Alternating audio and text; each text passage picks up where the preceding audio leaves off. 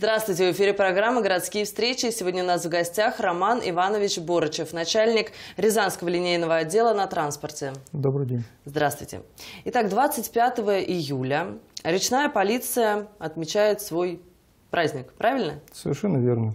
Когда было установлено, вот вообще, когда была установлена эта дата, когда было принято решение, что надо праздновать, и в чем заключается этот праздник? Ну, этот праздник берет свою историю еще в XIX веке, да, при э, императоре Александре II. Первые упоминания, так сказать, о службе царской на водном транспорте были. А в свете э, нашего, так сказать, современности, 25 э, июля 1918 года транспортная полиция на, водных, на водном транспорте была определена э, распоряжением Совета народных комиссаров и начинала функционировать на объектах э, в основном московского водного бассейна. А далее, э, так сказать, со временем все это перешло на все артерии речные, наши в целом российские. Так, чем же они тогда занимались? Если сейчас мы браконьеров ловим, да, правонарушителей, то тогда-то что происходило?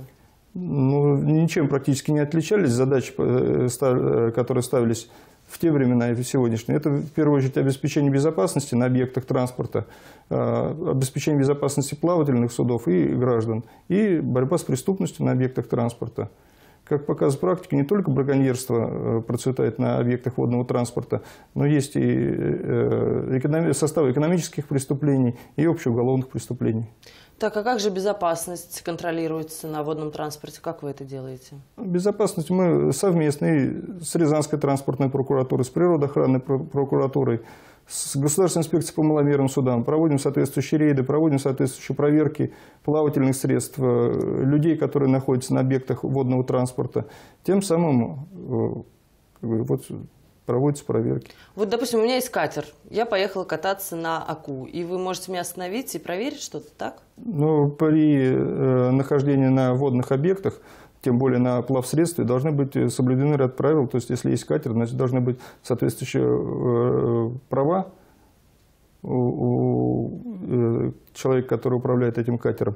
Должен быть спасательный жилет. И ряд э, требований также должен э, выполняться которые, при нахождении на объектах водного транспорта. То есть вы таких тоже проверяете, да? Да, Которые вроде бы на прогулке.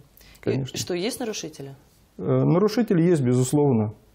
И административного законодательства, и уголовного кодекса нарушителей. Рязанская область не исключение. 480 километров реки Ака, в общем-то, не остаются без внимания. Так, а что за уголовные преступления, что же они делают? Основную э, долю преступлений, совершаемых на объектах водного транспорта в Рязанской области, э, составляет, так скажем, браконьерство, то есть преступление предусмотрено статьей 256 Уголовного кодекса, это э, нарушение порядка добычи водных биоресурсов. А кого они ловят? Всю ту рыбу, которая водится у нас в реке. То есть у них неправильные, может быть, удочки, снасти, так я понимаю? Есть э, орудия под, э, подводного лова в зимний период, опять-таки, это постановка сетей. В период э, нереста это запрещенное орудие лова. И, соответственно, круглогодично это сети. А они, они от вас пытаются уйти, бежать, уехать? И как? такое случается. И как вы ловите на воде? Есть у нас специальные плавательные средства, есть у государственной инспекции по маломерным судам, у рыбинспекции, с которой мы также взаимодействуем, также плавательные средства, катера, на которых мы, в общем принимаем меры к задержанию этих нарушителей. И дальше что происходит? Вы также их катера, лодки арестовываете? Или как это называется? Ну, при задержании данных граждан, при выявлении, если в их э, действиях есть составы преступления, например, браконьерство, то, безусловно, э, плавсредства их изымаются как используемые э, орудия лова, и потом по решению суда принимается решение по этим плавательным средствам. Но они могут их не увидеть никогда больше, правильно? Ну, как правило, они их и не видят. Так, а откупиться нельзя им? Откупиться можно только в суде. По решению суда назначается наказание. Вот окончательная точка. Ну, я, конечно же, шучу. Так, а можно какую-то статистику привести, как у нас в прошлом году было? Что сейчас? У нас вообще люди стараются вести себя более правильно? Э, статистику, если привести, то за административные правонарушения, в частности, нарушение правил добычи водных биоресурсов на объектах водного транспорта, в частности, на реке Ака, в прошлом году было выявлено 50, э, э, прошу прощения, 100 человек, В этом году всего на всего 40. То есть немного сокращается количество нарушений. Если брать по преступлениям, то в прошлом году было выявлено за год 50 преступлений, на сегодняшний момент уже более 30 преступлений, в частности по браконьерству. Как вы думаете, с чем связано вот это? Почему уменьшается количество преступлений? Ну, здесь я думаю, что все-таки активные действия тех служб, которые находятся на объектах водного транспорта, все-таки приводят к снижению всех этих правонарушений на воде. Так, а что за административное правонарушение? Административное правонарушение предусмотрено статьей 8.37 Кодекса об административных правонарушениях. Это нарушение правил э, добычи водных биоресурсов. Ну, например, в период нереста, например, можно ловить на удочку только с одним крючком. Нельзя использовать запрещенные снасти. Так, а где эта грань между уголовным и административным тогда, если браконьерство это одно и то же? Ну, немножко это не одно и то же. Здесь э, есть э, причиненный ущерб государству в части э, добычи данной. То есть, если уже поймали? Совершенно верно. Это уголовное. А если не, только пытаются? Не всегда. Все это даже зависит. Но есть конкретные, так сказать, законы, на, на которые мы опираемся, где четко расписана вот эта грань между административным и уголовным кодексом. Так, а какие вот э, связанные с экономическими преступлениями бывают правонарушения? Что, о чем вы говорите? Здесь, ну, в частности, в нашем регионе их не так много, а в целом по объектом водного транспорта, это случается и мошенничество, и э, незаконное предпринимательство, и предоставление услуг, не отвечающим требованиям безопасности. Все мы прекрасно помним, да, вот когда на объектах водного транспорта переворачиваются лодки, да, гибнут люди, то есть как бы в ряде случаев, то есть как бы приходится принимать меры, не всегда уголовные э, ответственности к людям, дабы избежать этого на наших объектах. То есть э, кто-то, может быть, на теплоходе отправился в плавание, а он какой-то бракованный оказался. Такое ну, бывает? Можем так утрированно сказать, да, он бракованный, не соответствует требованиям, нет спасательных жилетов, не отвечает э, требованиям определенным правилам навигации. Ну, в нашем регионе таких плавсредств на данный момент не зарегистрировано, таких нарушений не выявлено. То есть у нас все молодцы?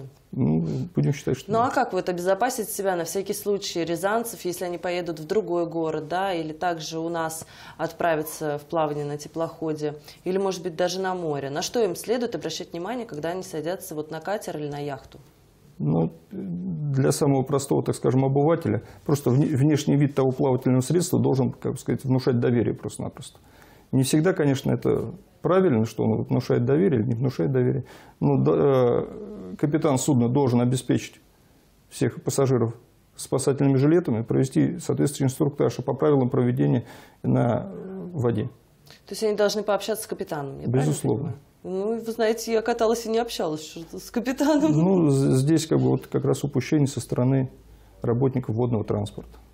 Но вот э, люди наверняка, которые, те же капитаны на обычных теплоходах, они все равно, вот э, что-то у них внутри есть такое э, морское, речное, вот они с любовью все равно, наверное, к этому делу подходят. Вы замечали? Безусловно. Люди, которые работают на объектах водного транспорта, можно так сказать, отметить, они как бы, длительное время, это может быть, даже сказать, поколениями работают там, да, и, безусловно, без любви к своей работе здесь не обходится. Так, а вы почему решили вот в свое направление деятельности пойти и также связать свою жизнь с железнодорожным транспортом, с водными объектами? Может, не совсем корректно отвечу. Так сложились обстоятельства, что вот э, после окончания института судьба распорядилась, я поступил на службу в линейный отдел на станции Рязань в 1999 году на тот момент отдел обслуживал то есть объекты железнодорожного транспорта, а в 2000, в 2010 году при реорганизации в системе ВД, когда э, УВД на железнодорожном транспорте, московское УВД на железнодорожном транспорте, юго-восточный УВД на железнодорожном транспорте и УВД на водном воздушном транспорте были реорганизованы и, э, так сказать, сформировано одно управление – в которые то есть, перешли все вот эти виды транспорта, водный, воздушный, железнодорожный. И в 2015 году то есть, э, в Рязани, Рязанскому линейному отделу, то есть, был прикреплен участок э, речной. 480 километров реки Ака на территории Рязанской области. Но нагрузка большая вот у вас по работе идет? Трудно оценить нагрузку, большая она или небольшая, когда эта работа повседневная. Нагрузки есть определенные, безусловно. Не всегда э, видны, видны результаты этой работы для простого гражданина или, может быть, для статистики. Но те объемы, которые делают сотрудники, все-таки как бы они заверяют граждан о том, что безопасность все-таки улучшается у нас на объектах транспорта, и реагирование сотрудников полиции на те или иные правонарушения, они происходят э, довольно-таки быстро. Так может у нас просто лето не летнее, поэтому народа на воде-то и нет, поэтому нарушений нет? Ну, не зависит от того, лето или зима. Мы круглогодично работаем на реке Ака. Есть и зимние виды нарушений, как то э, выезд на лед на автотранспорте. Бывают случаи, когда уходит автотранспортное средство под лед, тоже что в таких тут... случаях делать? Кому звонить, если ты понимаешь, что ты проваливаешься? Ну, самую элементарную службу спасения 112. Телефон единая служба. Ну, а как выбираться из машины? Дверь, наверное, не будет открываться? Ну, для, для того, чтобы выбираться из машины, не нужно все-таки выезжать на лед. Ни при каких обстоятельствах. Есть специальные переправы зимние, которые оборудуются, которые регулируются, и сотрудники как бы э, специальные смотрят за этими переправами. А что касается железнодорожного транспорта, то, там тоже происходят правонарушения какие-либо? Как? Без, безусловно, и административные, и уголовно наказуемые административные правонарушения, все, все то, что происходит как бы, на территории обычного города, и появление граждан в алкогольном опьянении, мелкое хулиганство, и распитие спиртных напитков, и курение в неустановленных местах, и нарушение правил транспортной безопасности – все то же самое. За этим там следит полиция. Я знаю, что в поездах ездят полицейские, так? В поездах, в электропоездах, на вокзалах круглосуточно присутствуют полицейские. А конечно. вы потом уже разбираетесь в этих правонарушениях? Безусловно. Реагируем и разбираемся. Составляем соответствующие документы реагирования. Ну какие там чаще всего нарушения? Ну, ты уже перечислил, это появление в пьяном виде, мелкое хулиганство, курение в неустановленных местах на объектах железнодорожного транспорта. То есть это даже уже получается не представители железной дороги, да, это все исполняют, а наши сами граждане. Да, все конечно. Наруши, нарушителями, естественно, в основном являются это пассажиры. Те граждане, которые находятся на объектах транспорта, которые следуют в поездах, электропоездах. На речном немножко по-другому получается, да? Организаторы поездки. Э, в основном это организаторы поездки, но, э, так сказать, принимая внимание, что у нас есть также и прогулочные катера здесь, но в текущем году, еще раз повторюсь, что нарушений при, э, вот, с периода навигации на данных теплоходах не зафиксировано. Так, а вы можете повторить? Сейчас у нас все отправляются на юг, кто на самолете, кто на, по железной дороге. Э, штрафы какие вот за эти нарушения, какие наказания? За э, появление в пьяном виде, например, в том же поезде. Допустим, человек сел еще трезвый и как-то умудрился там напиться. Курение в тамбуре. Какие наказания за это? Ну, здесь наказания, они как бы такие же, как и по всем правонарушениям. Здесь, в частности, предусмотрено наказание от 1000 рублей – но вместе с тем граждане, которые совершают правонарушения на объектах железнодорожного транспорта, в частности, если говорить о поездах, это появление в пьяном виде, это мелкое хулиганство. В первую очередь они изымаются с объектов железнодорожного транспорта. То, То есть... есть их поездка закончилась на нашей станции. В Ростове где-то. Может быть, в Ростове, может быть, в Рязани. Все, я поняла. То есть едет, едет и вот... Ну, естественно, он мешает э, проезду остальных граждан и меры реагирования. То есть... Из Нижнего Новгорода в Новороссийск собрался, вы его взяли, высадили. Будет такое. Так. И куда же он дальше?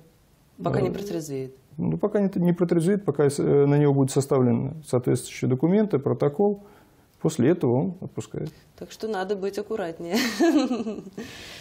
Роман Иванович, возвращаясь к речной полиции, может быть, мы все-таки что-то пожелаем вашим коллегам, да? Какое-то напутствие дадим? Безусловно. В этот праздник хотелось поздравить всех коллег, имеющих отношение к водному транспорту, пожелать им все-таки здоровья в первую очередь и профессиональной удачи. Спасибо вам.